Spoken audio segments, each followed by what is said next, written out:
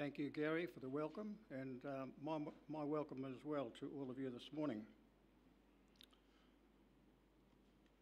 It may be at morn when the day is awaking, when sunlight through darkness and shadow is breaking, that Jesus will come in the fullness of glory to receive from the world his own.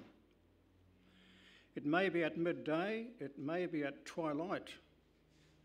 It may perchance be that the blackness of midnight will burst into light in the blaze of his glory when Jesus receives his own. Oh, joy, oh, delight that we should go without dying. No sickness, no sadness, no dread, no crying. Caught up through the clouds with our Lord into glory when Jesus receives his own. O Lord Jesus, how long, how long ere we shout the glad song? Christ returneth, hallelujah, hallelujah, amen. So I need not have to tell you what my few thoughts are going to be based upon this morning, need I? The beautiful words of this hymn have already said it all. Prelude to eternal life, Jesus' second advent. Thanks, Mike.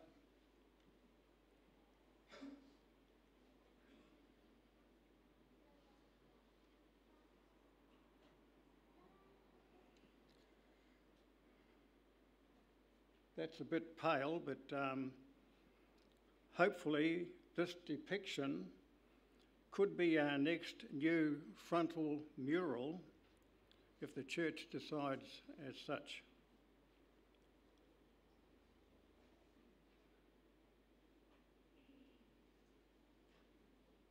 Thanks, Mike. The most wonderful event of the ages was undoubtedly the first advent of Jesus Christ to show us the true character of his Father, the great God of the heavens and the universe. The second advent, soon to break upon this planet, will be the most stupendous event of all time. Spectacular? No, friends. The word 10,000 times over could never describe what is portrayed in the scriptures, your Bible and mine, i.e., Jesus' entry through the clouds of glory, a trumpet sounding with a deafening blast that causes tombs to crack open to release those whom Jesus Christ has returned to redeem and take home to heaven with him. The trumpet blast, the myriads of the angelic host, poised in the atmosphere, radiating the glory of innumerable suns. It's all there for every eye to behold. A centrepiece, though, outshines this great mass of brilliance. A crowned king is seated upon a dazzling throne. The victory anthem takes over from the sounding trumpet with heaven's choir and musicians in magnificent harmony, the likes of such as never before produced by human minds. Something else is happening as well, though. Countless numbers of people begin to slowly rise from off the face of the devastated planet Earth to join the elevated heavenly throng still poised in readiness to receive them. The journey to heaven is about to begin. See you again, planet Earth, in a thousand years' time, when you will once more be returned to Edenic perfection. Some will be heard to say as they begin to rise. If I repeat some of this, I'll try to phrase it a bit differently. So I won't apologise for having a few various tries at the magnitude and magnificence of this event we all hopefully plan to be a part of. The promise I shall return. The legendary pledge enunciated by the five star general and commander in chief of the United States forces in the Pacific region, during World War II. General Douglas MacArthur and his US and Filipino forces were experiencing a rough time trying to extract the enemy forces from their entrenched positions and were fast losing the battle and contemplating defeat and surrender. The opposing forces had the upper hand, and it was now just a matter of time before the inevitable would happen. Surrender was never on the agenda where the US Army was involved, but now it was going to become a reality.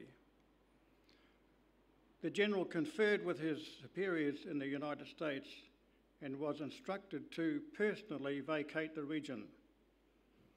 It would be embarrassing, to say the least, for the Commander in Chief to face capture and humiliation by the enemy. Five patrol boats were made ready for the hazardous journey to Australia. It was island hopping at first to clear the main battle area, and then it would be open water to reach the northern tip of the mainland of Australia.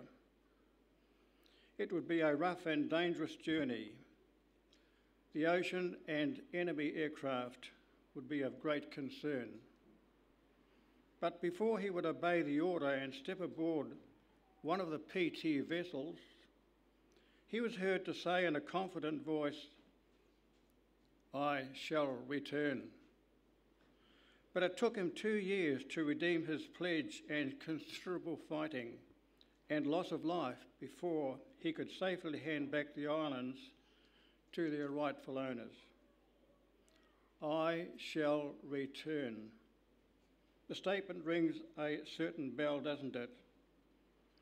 Especially for those in the world today who have faith in the return of Jesus Christ to redeem and to liberate all who have chosen him as their Lord, Saviour, and coming King. I will come again and receive you unto myself. Jesus had experienced and gone through the dark waters of death, but risen again to life.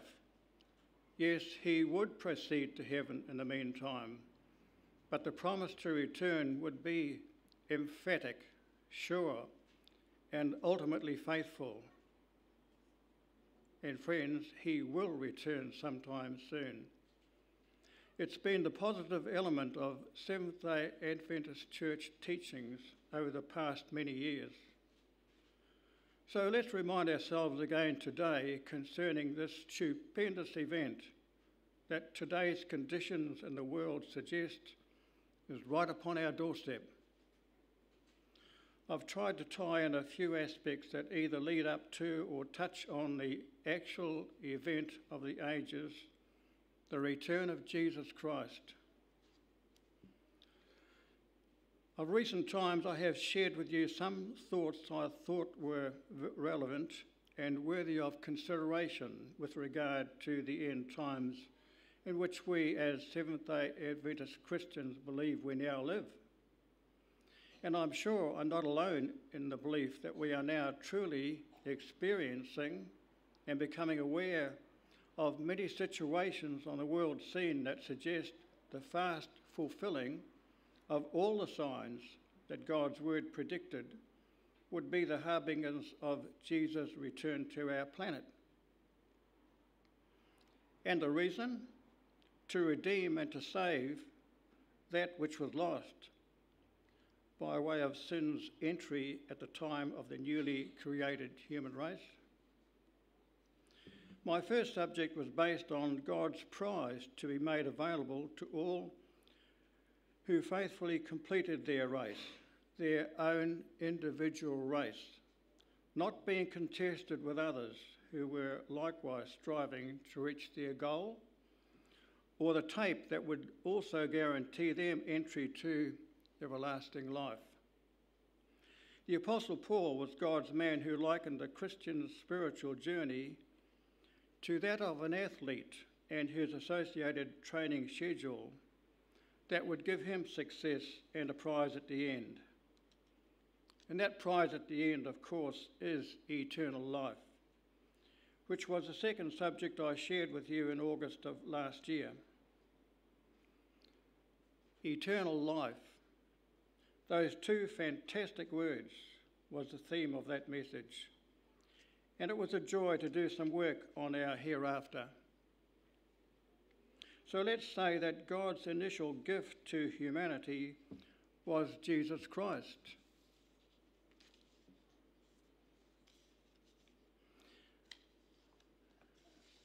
The gift of God is eternal life through Jesus Christ our Lord, we read in His Word. However, there is another great truth or promise that completes the end time trio of God's program of reinstatement, namely the event, the occasion of Jesus' second advent to our planet to reward prize winners from all ages with eternal life. Now, there's one thing I humbly admit, which is that I am not sufficiently qualified to even scratch the surface of an event that will be the most spectacular, powerful, and awesome this world will ever witness. As many term it, the end of the world as we know it today. However, I'm keen to give it a go, seeing I'm a realist as a former Whangarei pastor once labelled me. And I think all Seventh day Adventist Christians should be realists with regard to what our God has planned for our actual future. The first Advent was couched in obscurity, Jesus' all but silent entry into our planet. No bells ringing for his arrival, excepting maybe some that were attached to the animals that shared the place of his birth. But in stark contrast, his next appearance will be so vastly different. His first mission was to free and save souls for his pending heavenly kingdom. His second, as an enthroned king, to lift his faithful sons and daughters off the face of this planet and transport them to heaven. The event. It is partway through August 09 as I ponder these few following thoughts. The winterless north it's supposed to be, but the past few months of this 09 winter delivered us some pretty harsh and clement weather, which at times tended to dampen one's spirit to continue living and enjoying life, especially for those advanced in years, and I'm one of them. The cold seemed to have been much more apparent with rain persisting a lot of the time. Also, wind and cold had done their part to let you know in no uncertain terms that it was still late winter, with much of life content to simply continue to shut down and rest for a while. It's a similar pattern for those living on the other side of the globe, when they too annually experience their winter season and wrath. The difference being, though, that their cold break includes much lower temperatures with ice and snow included. However, it hasn't been all that bad. There have been many beautiful sunny days this 09 winter with most evenings and nights around a big open fire a real treat. Of now, though, as I stated, it's partway through August, and there is a slight hint of a much better season around the corner.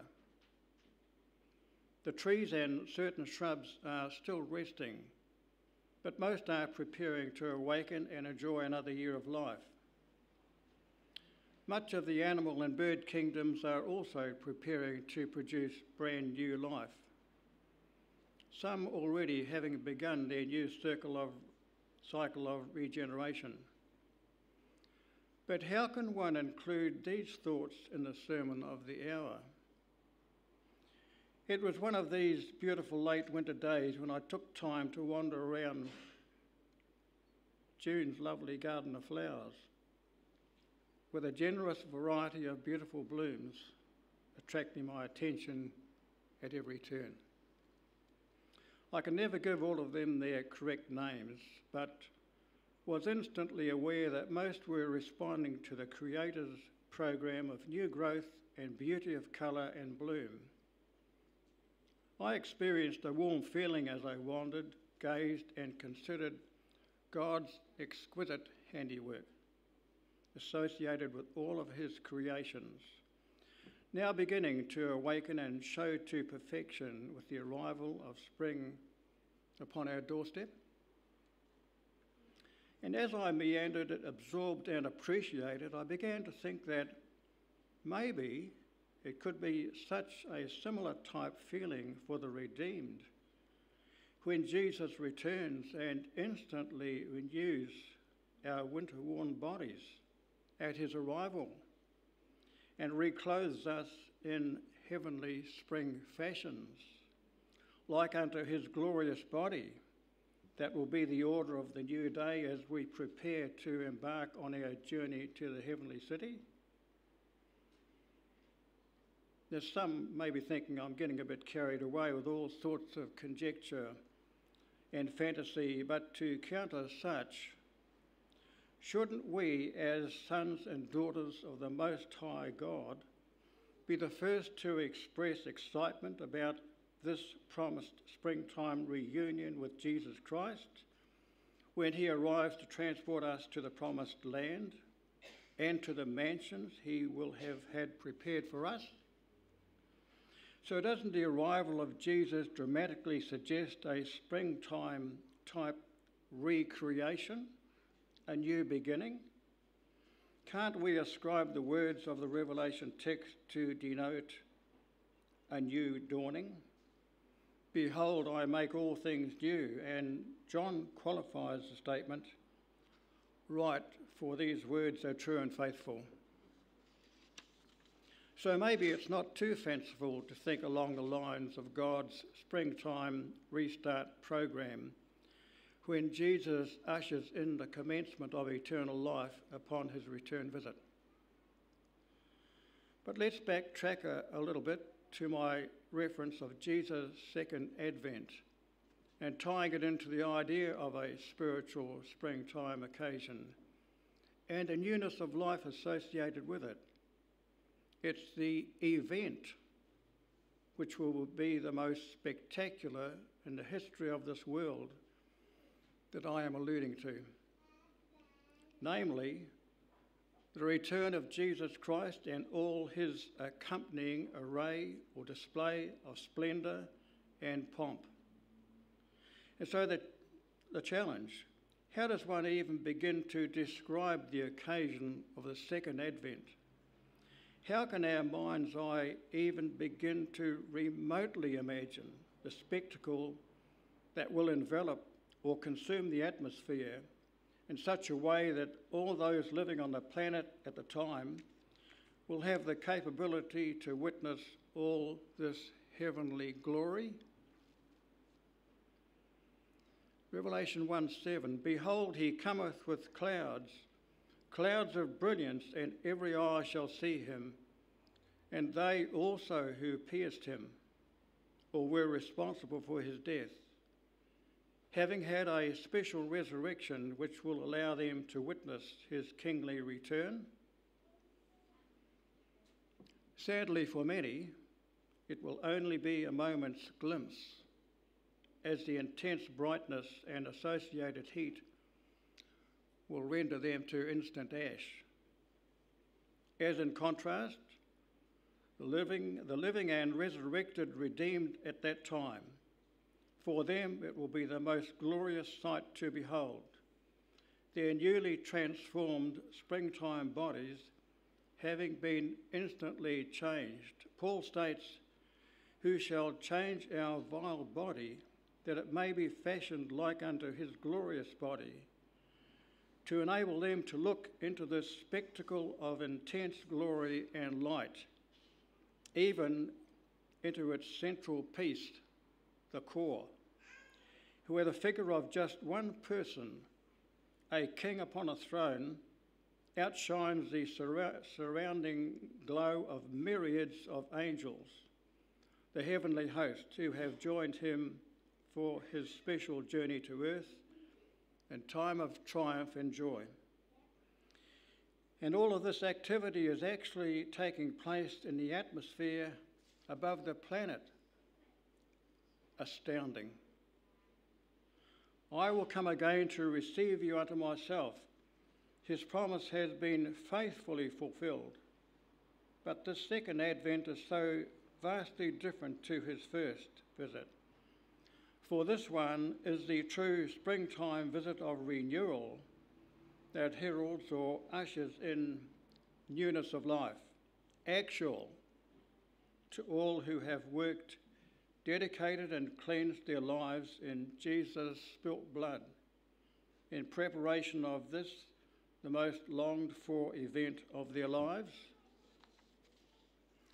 So let's indulge a bit further into this awesome event. Of course, there aren't suitable words that can adequately address his Jesus reappearing in the clouds of glory. So, I, for one, am sure we do no wrong in stretching our imaginations so as to try and capture a little bit extra with regard to that which lies ahead for God's faithful sons and daughters who have lived in the assurance, expectation, and blessed hope of Jesus' return to save them for eternity. So let's return to the scene, the planet which has suffered all manner of massive devastation related to numerous end time events, including the seven last plagues. Many of God's saints have survived all that the evil one has subjected them to and have stood fast. Along with those who have burst forth from their graves or who have been reassembled from the ocean depths or numerous other resting places. A mighty trumpet blast from the heavenly company in space has given way to the resurrection of the saints from all these various resting places. For the trumpet shall sound or blast, and the dead shall be raised incorruptible. That is, from wherever they have rested for many over the millenniums of time. But everything is happening so rapidly. The redeemed from all ages are now presently together and form the largest mass of humanity ever to be assembled at one time.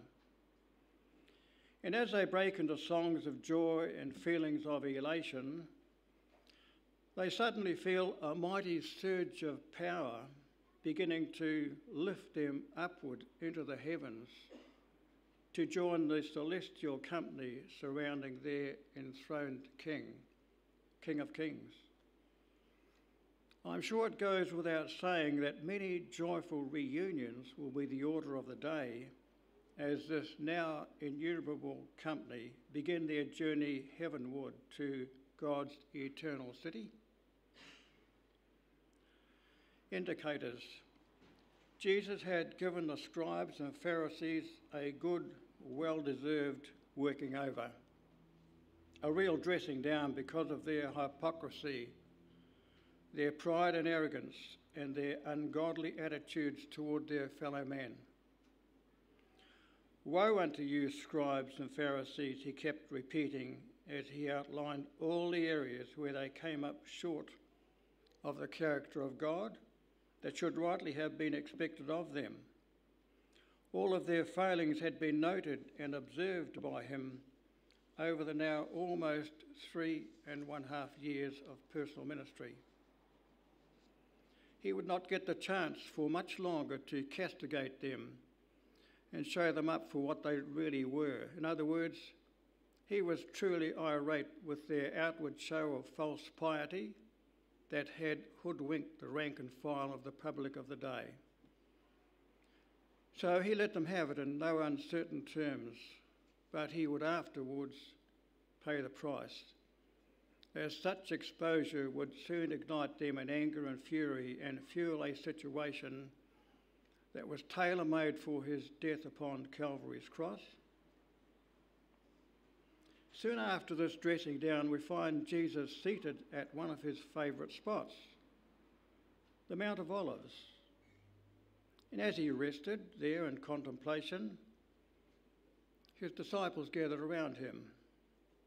It was a private little setting and a very beautiful atmosphere for this very special group. They had by now sensed some sort of unnatural ending to these past three and one half years they had spent with him in personal ministry, teaching, exhortation, example, lessons and love, etc. But as of now, they wanted an answer to something of very great interest to them. Tell us when these things, that is, Jerusalem's destruction and the end of the world, shall be, and what shall be the sign of your coming and the end of the world? Answer. First of all, don't be deceived by many who will purport to be the true Christ. Wars, yes, plenty of them. Rumours as well. Nations and kingdoms pitted against each other. Famines, pestilences, earthquakes. Now, these are only the beginnings of sorrow, for all those who are my true followers will suffer affliction and some will lose their lives. Some are going to be offended because of me. Others shall betray and hate one another. False prophets are plenty. Peddling deception will cause many to lose their love of me and return to a lackluster spiritual experience. So it may be a matter of endurance unto the end of one's life. However, the sign or trigger that gives you the best clue to my second advent is none other than the gospel of my kingdom being preached unto all the world for a witness unto all nations, not necessarily to every individual, but to all nations, kindreds, tongues, and peoples, as a witness. Then shall the end come. Now, as to the nature of my return, well, if you are capable of comprehending the magnitude of such, take note. It's going to be as follows For as the lightning cometh out of the east, and shineth even unto the west, in speed and brilliance, that is, so also shall the coming of the Son of Man be. However, prior to my arrival to planet Earth, there are going to be signs in the heavens, for the powers of the heavens shall be shaken, and then all of Earth's inhabitants will suddenly feel sorrowful, being unprepared as they look skyward and see for themselves the Son of Man coming in the clouds of heaven with power and great glory. But for those who are mine, here's the difference. And he shall send his angels with a great sound of a trumpet, and they shall gather together his elect from the four winds, from one end of heaven unto the other. Jesus continues with some further lessons regarding his second advent and emphasizes watchfulness and readiness, and also states another version of this great event. When the Son of Man shall come in his glory, and all the holy angels with him, then shall he sit upon the throne of his glory and carry out his work of separation between the two classes the faithful and the unfaithful, the godly and the ungodly, the just and the unjust, the sheep and the goats, etc. Departure. It was coming up to just on 40 days since Jesus had risen from the dead following his crucifixion. Twice before, he had made himself known to his special little group of friends. Right now, he was about to have some further pleasant company with them. However, in the meantime, some of them had felt the urge to go fishing, but after toiling hard all night, they hadn't been successful. They were near to land now, in shallow water, and feeling quite discouraged. and as well very hungry. It was daybreak. This lone person on the shoreline seemed to be attending a small fire. A wisp of smoke was rising from the red embers, and something was cooking above these embers. The lone person on the shoreline seemed to have a strange idea after checking to see how they had fared. And he yelled out to them, Drop the net on the other side. We all know the conclusion to the story so well, don't we? But there was a fourth and final time he would share with the now 11 of his disciples. The meal of fish on the shoreline was a very beautiful occasion and probably designed to benefit Peter the most. This time, shortly afterwards, the eleven were gathered together at Bethany for his departure. The 40 days were now up.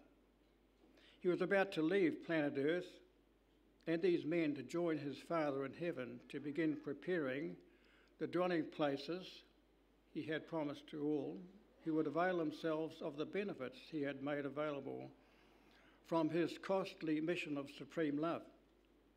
And so we find him having his last chat with these men he loved so much. I don't want you to depart from Jerusalem until you have received the baptism of the Holy Ghost. John baptized with water. You are going to be baptized in a few days' time with the Holy Ghost. Then you will be effective witnesses of me in Jerusalem, all of Judea, Samaria, and unto the uttermost parts of the earth. I would like to think that he embraced each one personally and said something appropriate that touched their different makeups, even though such is not recorded. He did, however, bless them. Farewell. A wave, maybe, or a hand signal. And he slowly begins to rise heavenward. There's no noise, just a silent lifting off into the atmosphere. There's a cloud above this figure, and he is soon passing through it and disappearing beyond from their sight. The eleven continue to gaze heavenward, their eyes intently fixed on the cloud that had enveloped their best friend. They now knew for certain that they would never see him again in an earthly setting.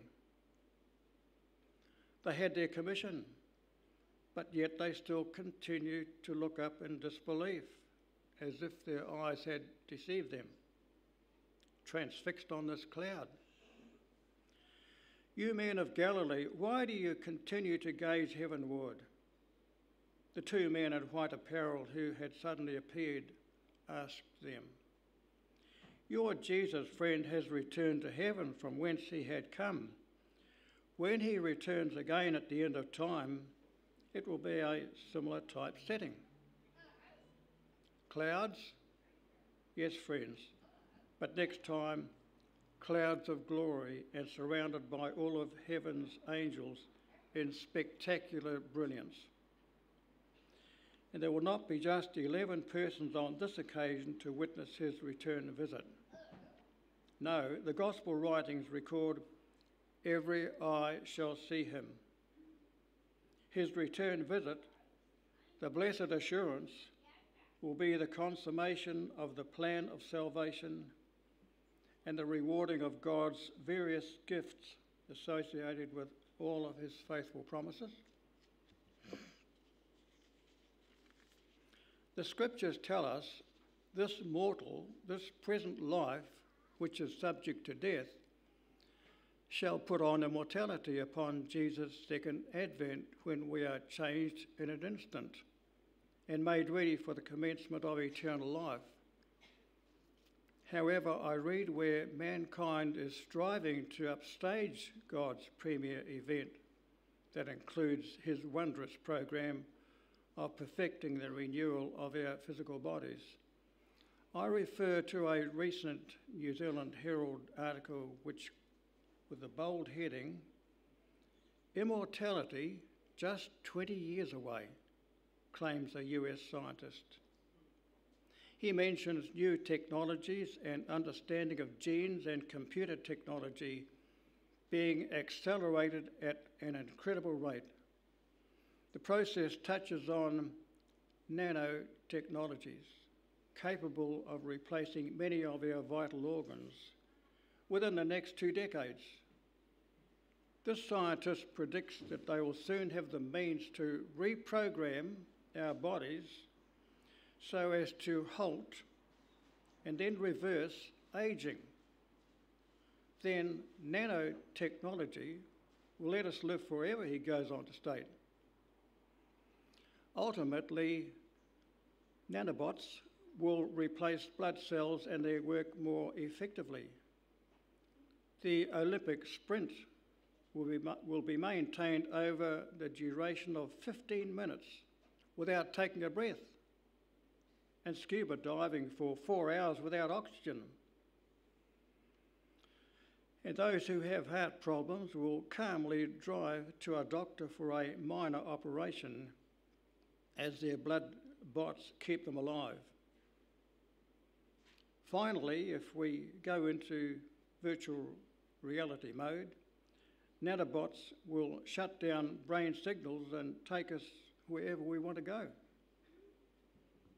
He concludes by saying we can look forward to a world where humans become cyborgs with artificial limbs and organs. Of course, he doesn't mention costs. And at 20 years hence, I, for one, won't be around, nor have the funds to have the full kit reconditioning job done. Instead, I would rather place my assurance on what my Maker has promised for me when He cracks open the soil one day that covers my remains and brings me forth a brand new being fit for His heavenly kingdom, thanks to Jesus Christ. One big final question. How are we each one going to fare when that great and terrible day of the Lord comes? The second advent.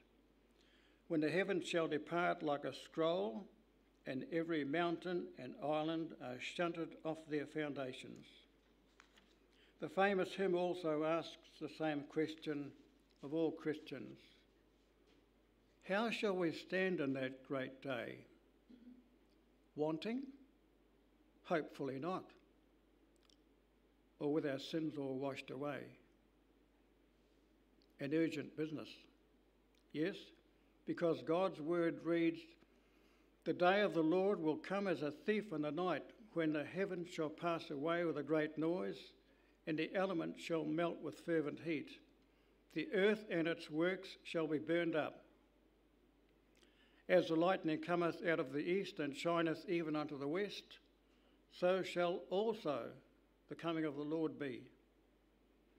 That stupendous event when Jesus breaks through the cloud formation of glory and calls us up to join him and the angelic host poised in the atmosphere in readiness for our terrestrial journey through space and onto our new homeland in heaven. So hold fast until that day, is my prayer for each one of you, because there is nothing more certain in this world than Jesus' second advent to redeem and to save those who are his.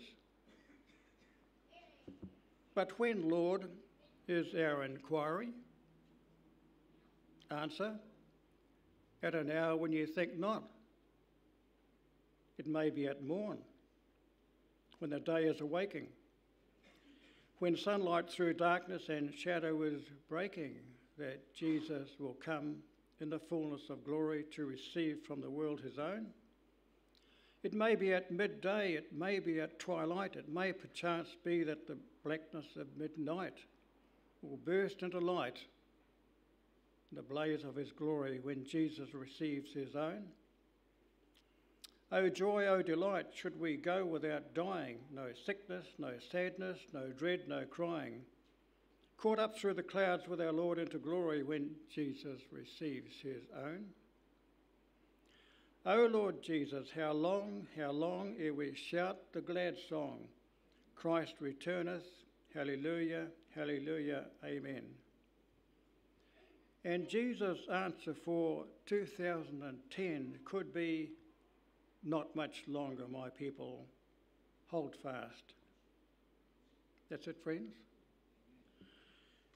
We've got a final hymn, Face to Face, in all his glory, where we shall see him by and by.